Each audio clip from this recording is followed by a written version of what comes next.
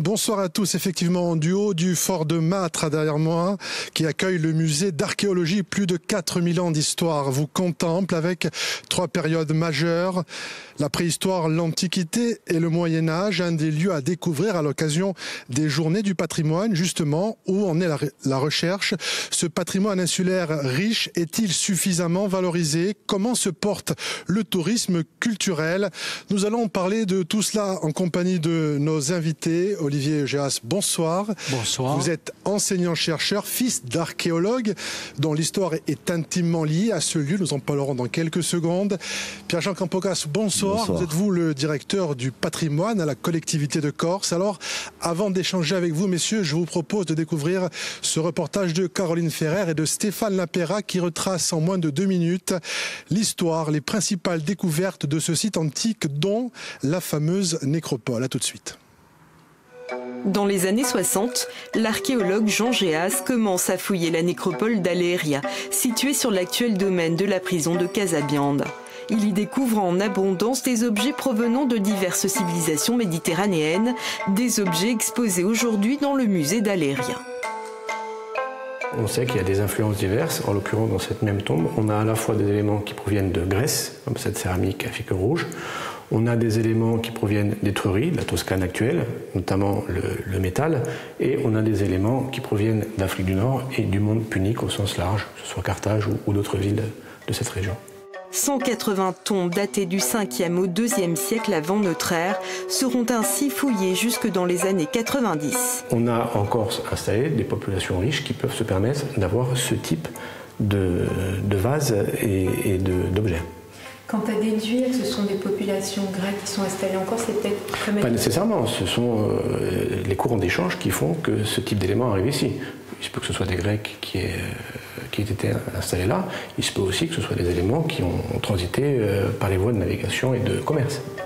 Des Grecs venus de Fossé en Turquie se sont bien installés à Aléria au VIe siècle avant notre ère, mais ils seraient repartis avant même les débuts de la nécropole. La cité romaine à proximité ne donne pas plus d'indices sur ces populations, elle est bien trop tardive. On a donc euh, des espaces qui ne correspondent pas euh, d'un point de vue chronologique. L'acropole, qui est en rapport avec la nécropole, euh, malheureusement n'a pas été trouvée et on ne dispose pas d'éléments qui permettent de comprendre le mode de vie de ces populations. Beaucoup d'armes ont été découvertes dans les tombes et aussi des coupes servant au symposium, un rituel de consommation du vin en l'honneur de Dionysos. Dans les deux prochaines années, un projet collectif mené par des chercheurs européens permettra peut-être enfin de percer quelques secrets. Alors, on l'a vu dans ce reportage, Olivier Jazz, vos parents, Jean et Laurence, ont participé à la première campagne de fouilles à Aléria dans les années 60. Vous étiez adolescent à cette époque. Quels ouais, souvenirs exact. en gardez-vous aujourd'hui? Ben, D'abord, un souvenir de l'enthousiasme de mes parents découvrant, alors qu'il y avait quelques indices qui étaient apparus sur la ville romaine, découvrant des vases entiers, des tombes intactes, des tombes qui n'avaient pas été pillées et qui livraient un matériel extraordinairement riche de multiples provenance. Donc ça, c'est un souvenir, si vous voulez, d'adolescence. Après d'avoir participé à euh, l'exploration d'un certain nombre de ces tombes et donc d'avoir fréquenté des chercheurs euh, qui étaient les grands chercheurs internationaux de l'époque. Les archéologues en Corse désireux, pour certains, de conserver leur précaré, n'ont pas toujours collaboré. Loin s'en faut, certains se sont même livrés à une sorte de guerre d'influence. Les esprits et les égaux se sont-ils apaisés aujourd'hui? Ah bah, écoutez, d'abord, si j'ose dire, beaucoup d'archéologues malheureusement ne sont plus là. Donc c'est un premier, une première chose. Et puis je trouve que le tableau est un peu sombre parce que bon, c'est un métier à l'époque, c'était un métier de découvreur. Et il y avait au contraire, ce, mon père avait une jolie formule, hein, une jolie formule, c'est la fraternité du soleil. C'est-à-dire que euh, quand vous travaillez et que vous essayez d'explorer des sites, ben, bien évidemment vous y êtes attaché puisque pour essayer de le comprendre, d'en tirer le plus d'informations possible, il y a une personne professionnalisation de votre travail. Mais il y avait une entente, bien sûr, il y a eu des débats, il y a eu de l'ambiance, mais de là à dire qu'il y a eu des bâtons dans les roues qui venaient des archéologues entre eux, non. Alors s'il est un point qui fait euh, consensus, c'est que la Corse possède une immense richesse patrimoniale, mais insuffisamment mise en valeur. Une publicité voulait faire de l'île une destination également culturelle, bronzée, intelligent, comme on le voit sur ces images, un vieux pieux à ce jour. Selon le sociologue Jean-Louis Fabian, c'est en Corse que les retombées du tourisme économique sont les plus faibles de France. Père Jean Capogas, bonsoir. bonsoir. Vous êtes en charge donc, du patrimoine à la collectivité de, de Corse, je le disais. On évoque un chiffre avec vous tout d'abord, c'est le budget alloué à ce patrimoine, c'est 10 millions d'euros, un chiffre en légère baisse avec les années. Concrètement, qu'allez-vous faire pour valoriser notamment ce, site d'Aléria? Très concrètement. Alors plus globalement sur les sur les budgets, euh, 10 millions avec aujourd'hui euh, une croissance cette année parce que pour euh, aller à l'essentiel sur les questions budgétaires, euh, la ressource d'autres financements et notamment le mécénat aujourd'hui avec du mécénat populaire, mais aussi un travail sur euh, du mécénat d'entreprise. Et puis par ailleurs, une dynamique autour des programmes européens avec une cellule à la direction du patrimoine pour développer ce secteur-là. Vous parliez du, du mécénat, euh, ce soir aura lieu notamment le, le, premier tirage du fameux loto du, du patrimoine. Est-ce que ce sont euh, les, est-ce que c'est à la société de prendre le relais de, de l'État pour sauver euh, ces, ces chefs-d'œuvre en péril? Alors est-ce que c'est la société? Non, il n'y a pas que l'aspect financier. Euh, sans doute une aide et une prise de conscience et surtout l'élément très intéressant euh, sur cette opération, c'est la communication. Finalement, nous, ce qui nous intéresse beaucoup, c'est qu'on parle du patrimoine. Alors, vous parlez de communication, une communication qui n'est pas euh, optimale, notamment entre les deux sites majeurs de, Corse, que sont bien sûr Aléria et Marianne, sur la commune de, de.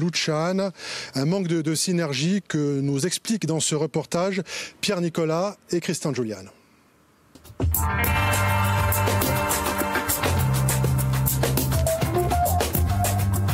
Sur le site antique d'Aléria, les belles sculptures de l'artiste Gilles Charbonnel sont presque plus monumentales que les vestiges eux-mêmes. Les visiteurs attendront encore un peu les bornes censées leur montrer une reconstitution du site en 3D. En revanche, le travail de la famille Jeas devrait enfin être complété.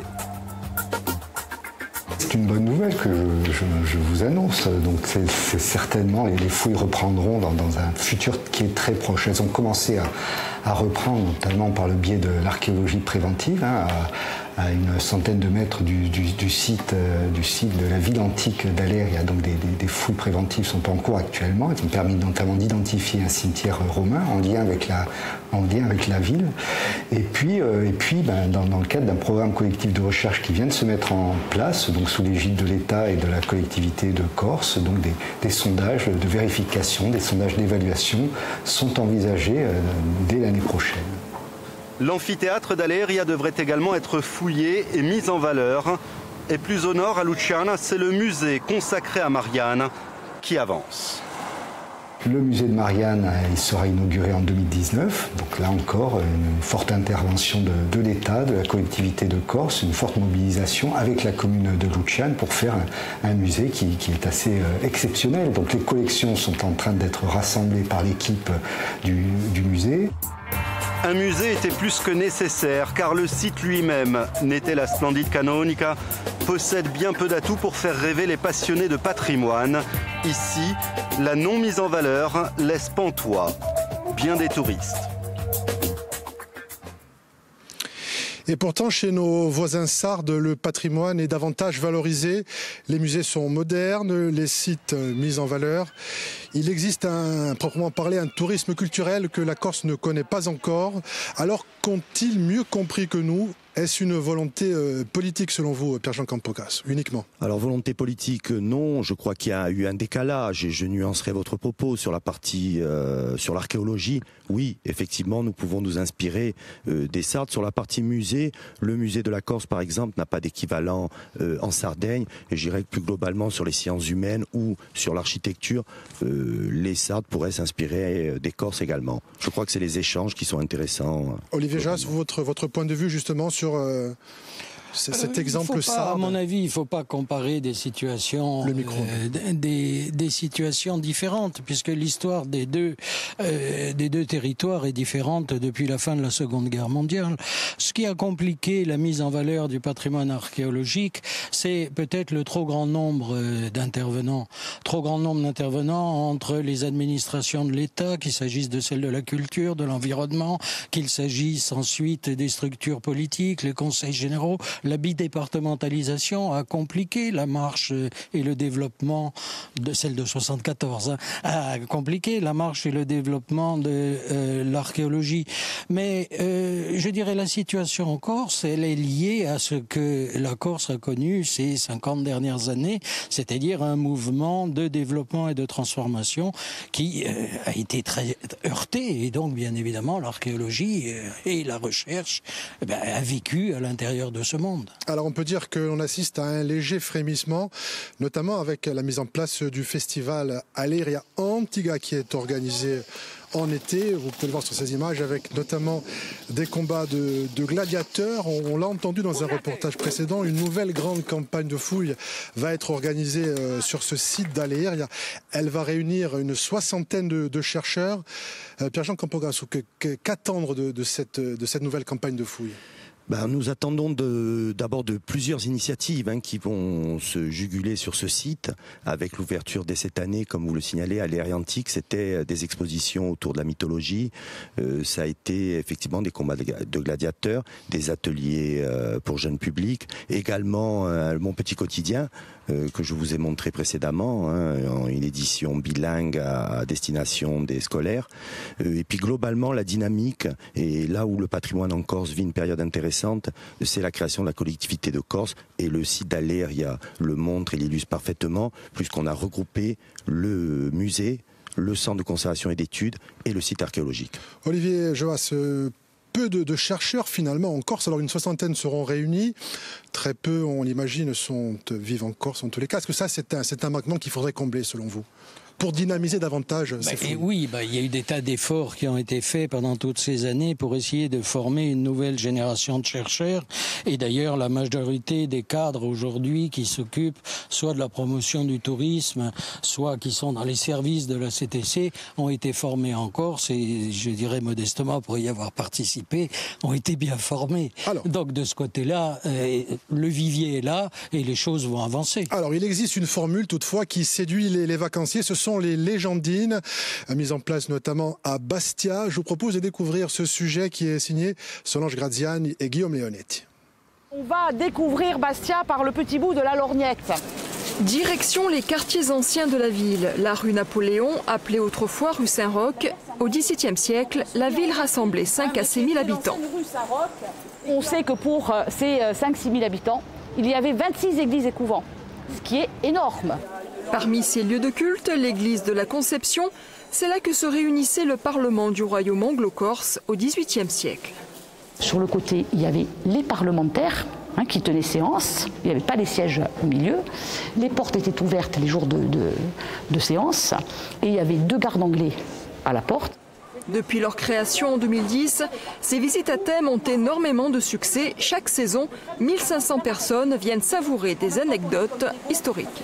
Victor Hugo, bah, je suis passé à côté tout, à l'heure et puis je ne l'ai pas vu. Je suis bien content maintenant de voir effectivement que Victor Hugo est passé ici et que ses premiers mots effectivement étaient quelques mots corses. On suit hein, la tendance générale mondiale d'une demande qui est plus seulement euh, ce qu'on faisait il y a 20 ans d'aller bronzer idiot, hein, mais euh, c'est aussi euh, découvrir un pays, c'est découvrir son peuple. Et ça, je pense que ça commence à, être mis en place.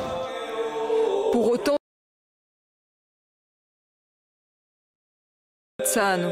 258 menhirs, c'est le plus grand alignement de monolithes en Méditerranée occidentale. Pourtant, il reste encore en déshérence. Malheureusement, eh, non è mica conosciuta primamente dai nostri interessare un la chance di andare dans un, un site archéologique, faites mettre à piangere. En Corse, un chiffre résume tout. Seulement 0,4% des dépenses des touristes sont consacrées aux musées et autres services culturels.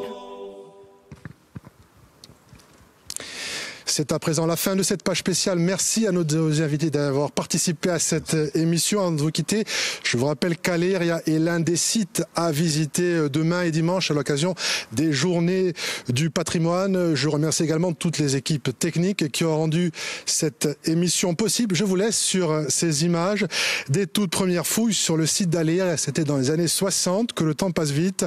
Un lieu qui est loin d'avoir livré tous ses secrets. Bonne à toutes, le 19-20 continue.